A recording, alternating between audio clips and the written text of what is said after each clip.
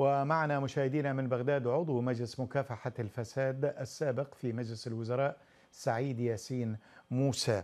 أستاذ سعيد أهلا بك. شكرا جزيلا لوجودك معنا في هذه النشرة. بداية هل بالإمكان أن أن توضح لنا ما هي تفصيلات كشف الذمم المطلوبة من المسؤولين في الدولة؟ يعني أي جرد يجري؟ كيف؟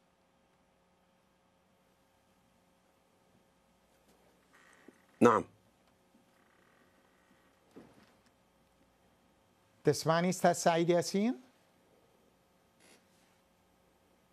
الآن أسمعك الآن لكن. صوت بعيد كنت أرحب قليلاً. بك أجمل ترحيب شكرا لك ما هي نعم. تفصيلات كشف الذمم المطلوب. من المسؤولين في الدولة يعني أن يقدموها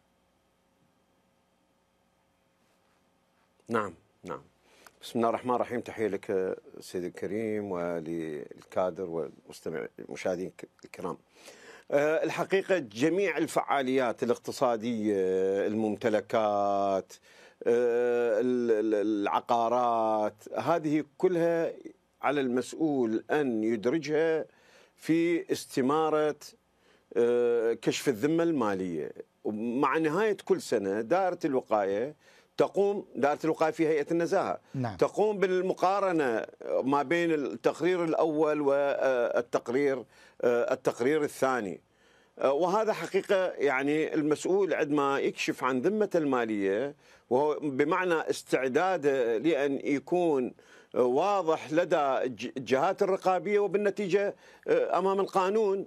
نعم. وللشعب ه- وهذه حقيقة خطوة مهمة جدا يعني ومسؤولة أنا أعتبرها نعم. نعم.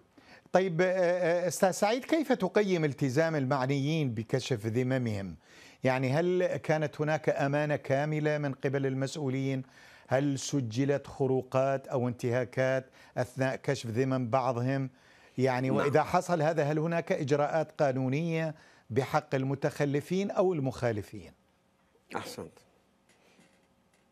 أحسنت أحسنت. سؤال جدا يعني جوهري. الحقيقة الفترة ما قبل 2019 كان القانون لا يجرم.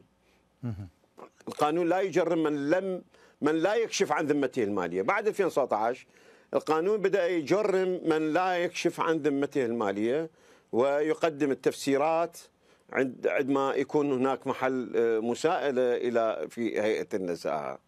الآن القانون يجرم والإثبات على ذلك في الفترة الماضية كان العديد من المسؤولين ظهر لديهم تضخم آه، في الأموال بعد التحري وهناك عدم آه، تفسير آه، هذا التضخم وصار تجريم.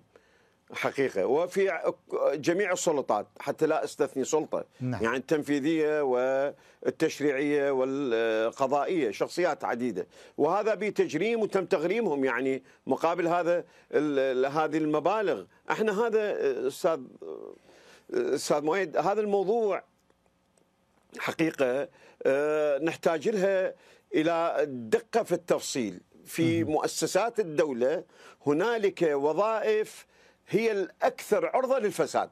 نعم.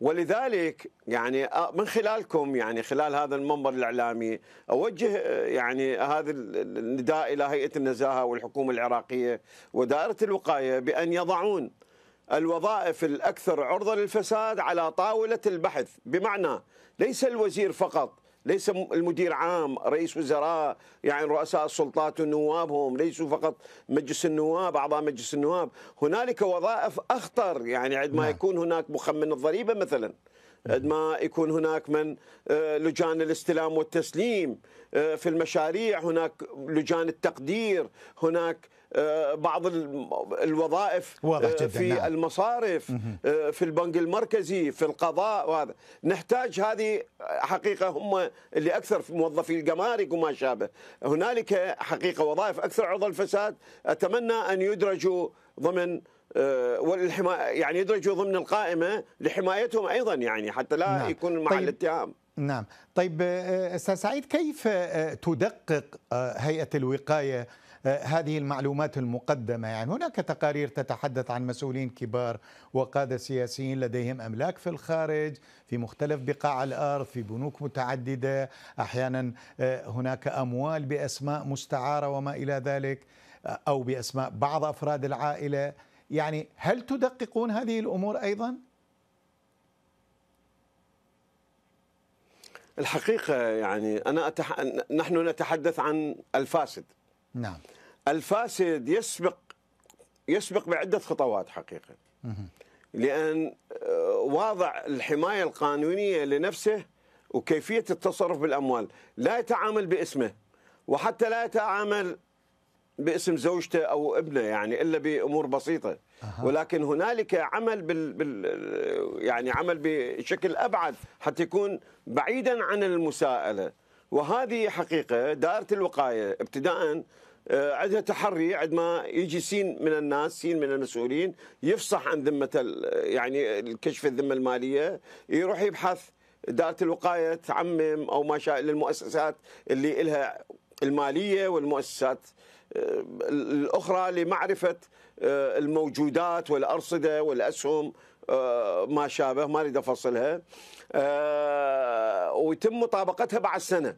هذا الجانب إحنا نسميه يعني القانونيين يسموه الجانب الشكلي بالموضوع. نعم. ولكن ما هو الجانب المضمون الأصلي؟ هل هنالك لهذا المسؤول تعاملات مالية نتيجة وجوده بالسلطة لمدة 10 و15 و20 سنة وخمس سنوات ما شابه، يعني ما هي الم- المنافع المالية اللي حصل عليها وباسم من؟